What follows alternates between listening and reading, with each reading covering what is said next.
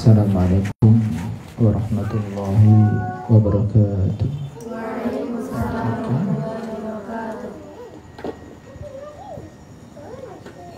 Alhamdulillah. Salatu wassalamu ala rasulillah. Sayyidina wa habibina wa syafi'ina wa nuri qulubina wa maulana Muhammad ala alihi wa ashabihi at-tahirin wa man tabi'ahum bi ihsanin ila yaumiddin amma ba'du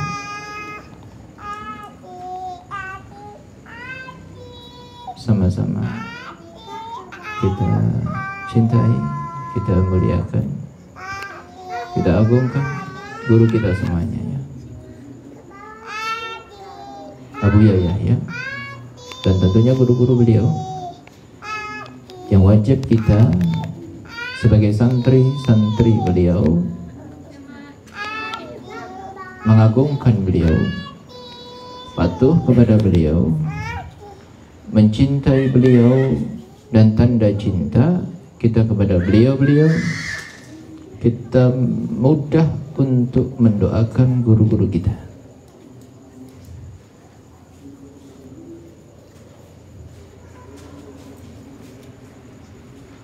dan tentunya kalian banat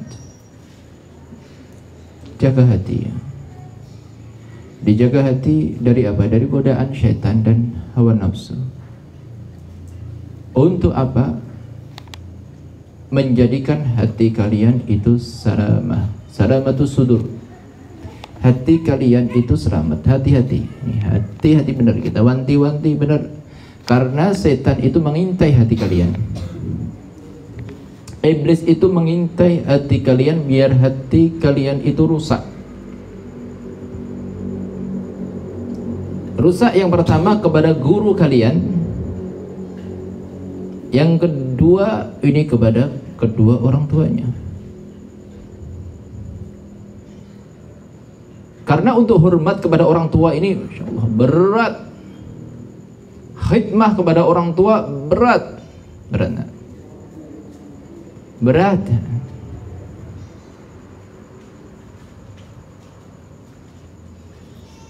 Kadang orang itu lebih mudah patuh kepada atasannya hormat kepada atasannya sekantor di perusahaan. Tapi tapi kepada ibundanya padahal yang telah mengandungnya. Nyawa taruhannya. Melahirkannya nyawa taruhannya membesarkannya. Itu hormat berat. Hati-hati kalian. Jangan sampai punya hati yang seperti ini atas. Mau membalikkan sandalnya saja beratnya. Mau membungkukkan badannya ketika berjalan di hadapan ibundanya ini beratnya Masya Allah.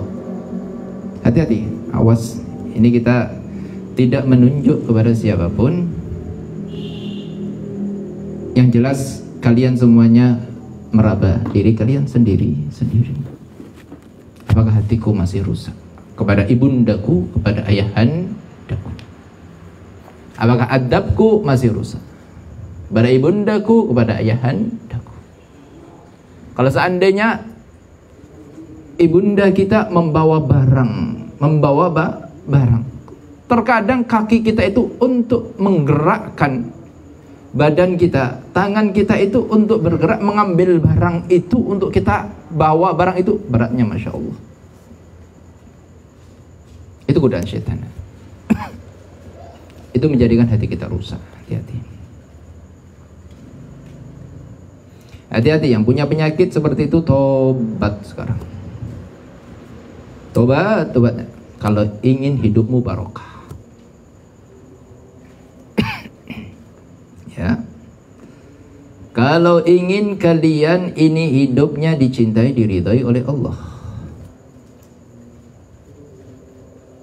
ridallah fi ridal walidain ya nah. ini mukadimah kita tata hati kita terlebih dahulu nah. dari kita itu ada akhlak nah. salamatus sudur hati kita itu bersih nah berat nah. Anak kalau sudah terbiasa tidak punya adab kepada ibundanya, kepada ayahandanya, atau mungkin kurang adab, kurang khidmah, tidak terbiasa adab, tidak terbiasa khid, khidmah, itu untuk memulainya, masya Allah. Ibaratnya dia itu lebih memilih untuk dijemur. Dia itu seakan-akan lebih memilih untuk menyunggi gunung itu. Mungkin kalau seandainya ada seorang anak yang tatkala berangkat dia sekolah, berangkat dia tidak pernah salaman kepada ibundanya, pada ayahandanya. Mungkin salaman tidak pernah cium tangan. Tidak pernah cium cium tangan. ya karena mungkin ya ya ya mungkin pendidikan di rumahnya mungkin dia kurang atau mungkin bagaimana masa kecilnya nggak pernah diajari dari kakek-kakeknya ya, tidak temurun akhlak yang seperti itu ya. Untuk memulai nyium tangan ini nak.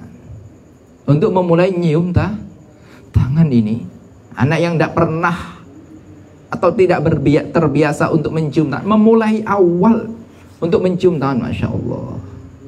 Ragu bimbang malu pokoknya bercampur aduk dalam hatinya campur aduk dalam hati. Hati. Atau mungkin seorang anak yang tidak pernah membalikkan sandal ibundanya. Ketika ibundanya mau keluar rumah. Ini untuk membalikkan sandal itu beratnya masya Allah. Masya Allah. Ya. ya, ya coba yang tidak pernah membalikkan sandal ibundanya ketika di rumah. Jangan diulangi lagi. Tidak usah apa-apa. Malu tidak apa malu kepada ibundanya. Memulai kebaikan.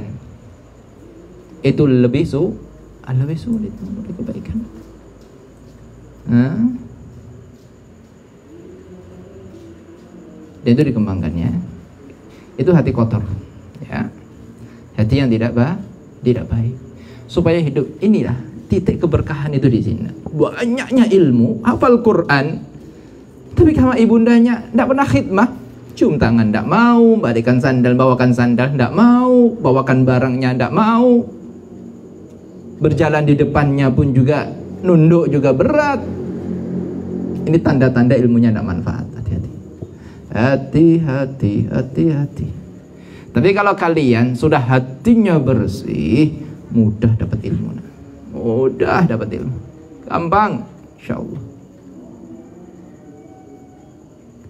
Karena dikatakan ulama itu al ilmu itu nu nurun cahaya. Cahaya, cahaya. Ilmu itu nur, cahaya. Cahaya. Coba kita berpikir, nah, kita berpikir. Supaya kita itu mondok itu berhasil. Berhasil itu maksudnya apa? Ya dicintai Allah. Ukuran berhasil itu dicintai Allah, dicintai Rasul Rasulullah. Hatinya bersih. Ya, bohirnya mengamalkan syariat baginda Nabi ukurannya seperti itu, orang yang dicintai oleh Allah. Syariat tidak dilanggar, hatinya ber bersih. Selesai. Karena kita yang di hadapan Allah yang dihisap ya dohir kita ya batin kita batin kita nak. kita kembali lagi. Ilmu itu cahaya. Kenapa kok kita harus salamatus sudur hati kita hati kita ber bersih. Karena di situ di dalam taklim ta'alim yang kan nanti kalian akan belajar insya Allah Qadimah ya ini Qadimah aja karena di dalam sebuah perkataan ulama ilmu itu nur ya enggak? Ilmu cahaya cahaya Siapa makhluk Allah yang tercipta dari cahaya? Malaikat. Coba. Siapa makhluk Allah yang tercipta dari cahaya? Malaikat. Maka pendapat ulama yang memindahkan ilmu dari gurumu kepadamu, yang mentransfer ilmu. Ibaratnya kalau aneh ya pokoknya pokoknya bahasa download atau apalah. Yang memindahkan ilmu dari hati gurumu kepada hati hatimu itu adalah cahaya ya adalah malaik malaikat. Makanya al ilmu itu nurun la yu'ta lil asi. Kalau hati kotor, hati kita najis. Hati kita nah, najis. Najis. Ibaratnya yang najis itu apa sih? Yang najis itu apa sih? Hewan yang najis itu? Hewan najis itu apa kan? Kalau ada anjing ya, bah? Babi. Itu itu ada ibarat ulama aja. Itu perhatian di dalam kita ngambil dalam kitab Ta'lim Muta'alim. Sajar Nuji. Makanya kalau di dalam hati kita ada suatu hal yang kotor, yang najis, itu adalah ada diibaratkan anjing dan babi, maka malaikat tidak mau mah masuk. Selesai. Coba. Malaikat tidak mau masuk dalam hati hati kita. Makanya ilmu itu la yu'ta lil lelasi.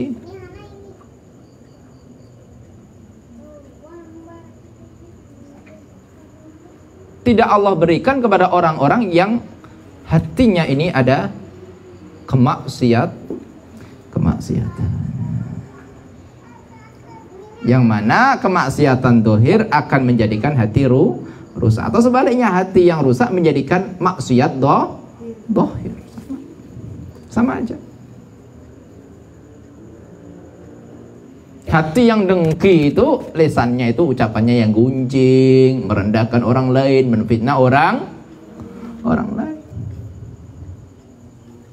Hatinya pun sombong, takabur, tidak mau rendah diri, tidak mau rendah hati, maka dohirnya pun tatkala berjalan di hadapan orang tuanya ya som sombong.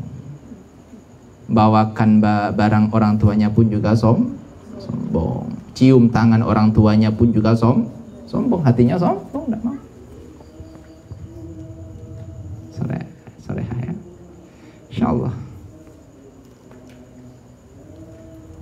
Hmm. sudah ya. Seberapa jam Fatimah oh kita ngaji sebentar aja? Seberapa jam setiap pekan nanti. Nah biar akhlak kita terjaga nanti insyaallah. Biar kita baik semuanya. Biar kita mudah untuk mendapatkan ilmu sesuai tuntunan para ulama. Yang kita contoh itu ulama. Pokoknya kita itu nuntut ilmu bahasanya jiplak. Fotokopi fotokopi dengan akhlaknya ula ulama. Selesai sudah. Yang mana ulama ini banyak sekali mengarang-ngarang kitab akh akhlak. Menata hati adabnya muta'allim adabnya mu'al muallim adabnya penuntut ilmu adab adabnya orang yang menyebarkan il ilmu. Ya sudah ikuti itu. Selesai sudah. Enak itu sudah disusun ulama tinggal kita bacakan tinggal kita amal amalkan sukses dunia akhir akhirat. Wallahu a'lam bishawab insyaallah. Semoga diberikan ilmu yang manfaat, ilmu yang barakah, diangkat derajatnya oleh Allah. Cintai baginda Nabi Muhammad, bisa berjumpa dengan baginda Nabi, keluarga baginda Nabi Sayyidah Fatimah Zahra. Ada Khadijah Kubra nanti di akhirat bersama dengan orang-orang mulia yang berambiya, para rasul, para sahabat-sahabat baginda Nabi Muhammad. Indah di sana indah. Dapat ridho Allah. Bersama dengan orang-orang yang suci kita. Husnul khatimah bisirul fatihah. Bismillahirrahmanirrahim. Alhamdulillah. Maliki yaumiddin ya kan ya ini. Adalah suratul mustaqim surat dari ta'lim ghairil maghdubi alaihim waladdallin Assalamualaikum warahmatullahi wabarakatuh